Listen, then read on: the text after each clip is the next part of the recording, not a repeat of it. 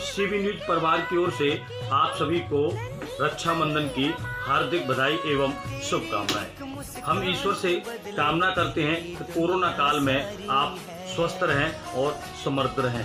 वहीं आप सबसे अपील करते हैं कि कोरोना काल को देखते हुए मास्क और सोशल डिस्टेंसिंग का विशेष ध्यान रखें। आपका अपना चोट सिंह सक्सेना